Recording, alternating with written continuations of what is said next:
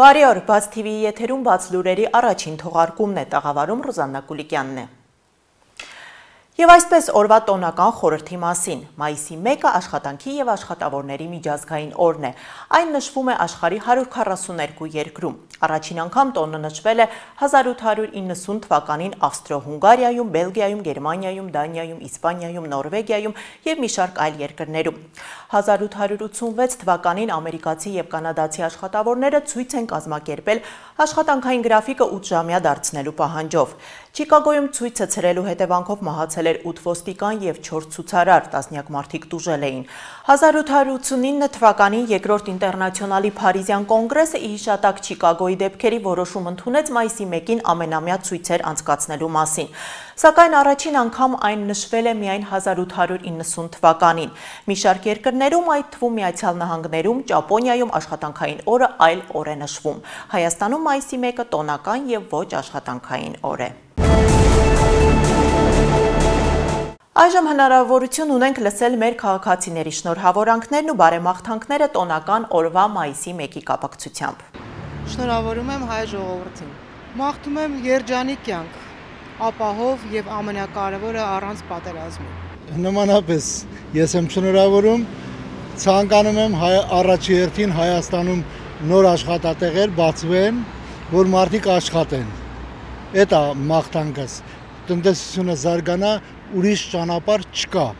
Համբերություն եւ մեծ սպասելիքներ որը մեծ հույսեր է ներշնչում հեղափոխությունը։ Մեր քաղաքացիներին ցանկանում եմ խաղաղ կյանք, աշխարհին խաղաղություն, մեր հայ ազգին ամենալավ լավ բաներն եմ ցանկանում երեխեք ջան։ Մենք լավից վատից ապրեցինք, թող մեր ջահիլները լավ ապրեն, մեր ղեկավարությունը լավ լինի, ամենակարևորը։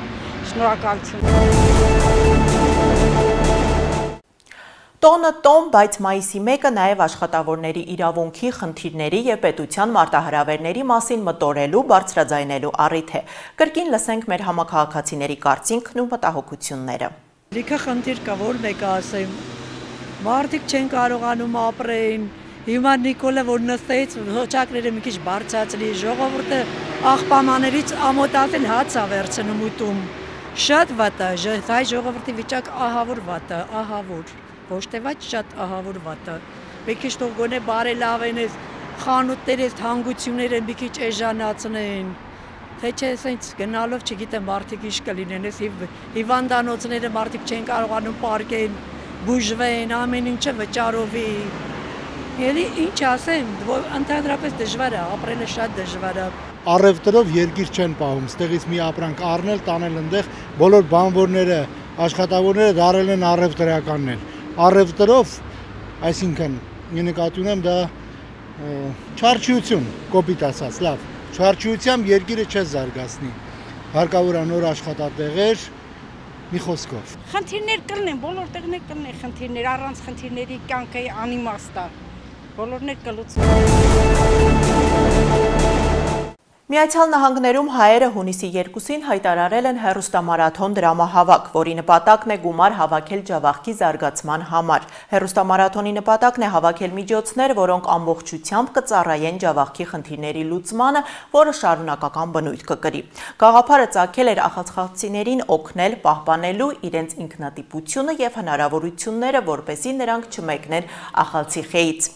Նրանք պատրաստվում են այդ գումարով բացել սպորտային եւ մշակութային կենտրոն։ Եթե ավելի շատ գումար հավաքվի, ապա օգնություն կցուցաբերվի նաեւ տարածաշրջանի հայաբնակ այլ շրջաններին։ Լոս Անջելեսի հայկական կազմակերպությունների եւ անհատների հետ միասին որոշեցինք ստեղծել Սփյուռքի միավորման հարթակ, որի նպատակներից է Վրաստանի հայկական համայնքի ամրապնդումը, ասել է հերոստամարաթոնի կազմակերպիչներից Գարեգին Նալբանդյանը։ Այժմ առաջարկում եմ ծանոթանալ միջազգային քրոնիկոնի առավել հրատապ լուրերին։ Միացյալ Նահանգների հյուսիսային Կարոլինա նահանգի համալսարանի Շարլոտ քաղաքում գտնվող մասնաշենքերից մեկի տարածքում զինված անձը կրակ է բացել մարդկանց ուղությամբ, ինչի հետևանքով երկու մարդ է զոհվել եւս 4-ը վիրավորվել են, ընդ որում վիրավորներից 3-ի վիճակը ծանր է գնահատվում, գրում է Reuters գործակալությունը։ Ավելի ուշ քաղաքի ոստիկանության բաժանմունքից հայտնել են, որ հրաձգության համար կասկածվող անձի ինքնությունը պարզվել է։ Կասկածյալը 22-ամյա Տրիստան Էնդրյու Թերելն է, որն այժմ կալանքի տակ է գտնվում։ Հրաձգությունից երկու ժամ անց ոստիկանությունը հայտարարություն է տարածել վստահեցնելով, որ համալսարանի ամբողջ տարածքում անվտանգության համապատասխան միջոցառումներ են իրականացվել եւ որ ուսանողները կարող են իրենց կացարանները վերադառնալ։ Վենեսուելայի կապի եւ հաղորդակցության նախարար Խորխե Ռոդրիգեսը հայտարարել է, որ այս պահին Վենեսուելայում տեղի ունենում պետական հեղաշրջման փորձ։ Այս մասին նա գրել է Twitter-ի իր էջում։ Ռոդրիգեսը հավելել է, որ վենեսուելյան իշխանությունները դիմակայում են մի փոքր խումբ ռազմական դավաճանների։ Ճապոնիայի նոր կայսրն է դարձել Նարուհիտոն։ Նրա թագադրման արարողությունն ավարտվել է Տոկիոյում կայսերական պալատում։ Այս իրադարձությունը հերարցակվել է երկրի հիմնական հերոստահալիքներով, փոխանցում է Ռիա Նովոստին։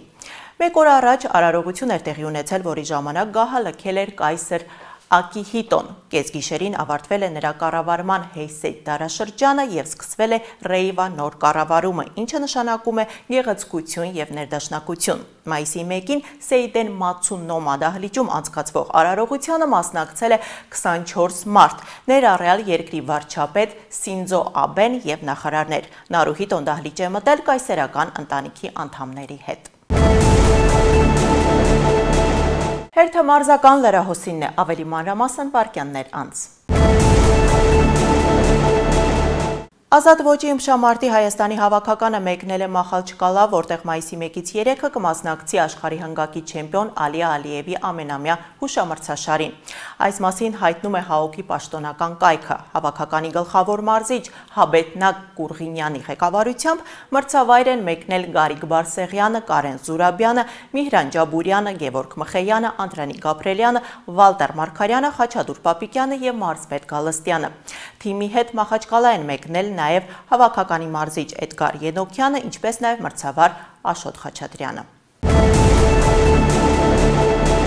Ֆրանսիական լիգա 1-ի 34-րդ տուրի խաղում Մոնպելիեն սեփական հարկի տակ մրցել է Paris Saint-Germain-ի հետ։ Stade de la Mosson մարզադաշտում կայացած խաղն ավարտվել է տանտերերի հաղթանակով 3-2։ 12-րդ րոպեին գնդակը սեփական դարպասն է ուղարկել Մոնպելիեի պաշտպան Ամրուազ Օյոնգոն։ 9 րոպե անց ինքնագոլի հեղինակ է դարձել PSG պաշտպան Կիմպեբեն։ 62-րդ րոպեին Ախել Դի Մարիան առաջ է մղել Փարիզյան ակումբին։ 80-րդ րոպեին հաշիվը կրկին հավասարվել է, աչքի է ընկել Մոնպելեի հարցակվող Անդի Դելորտը։ 5 րոպե անց Սուլեյման Կամարան խփել է տանտերերի հաղթական գոլը։ Այսպիսով Մոնպելիան, որը գլխավորում է հայազգի Միշել Տեր-Զաքարյանը, հավաքեց 54 միավոր եւ 5-րդ հորիզոնականն է զբաղեցնում մրցաշարային աղյուսակում։ PSG-ն հիշեցնենք 84 միավորով առաջատարն է եւ արդեն ապահովել է չեմպիոնությունն այս մրցաշրջանում։ Այս եթերաժամի համար նախատեսել էինք այս քանը շարունակեք հետևել բաց լուրերի թողարկումներին։ Տաղավարում կաշխատի իմ գործընկեր Մարի Մինասյանը, իսկ ես ձեզ հրաժեշտ եմ տալիս եւ մաղթում ամենայն բարիք ցտեսություն։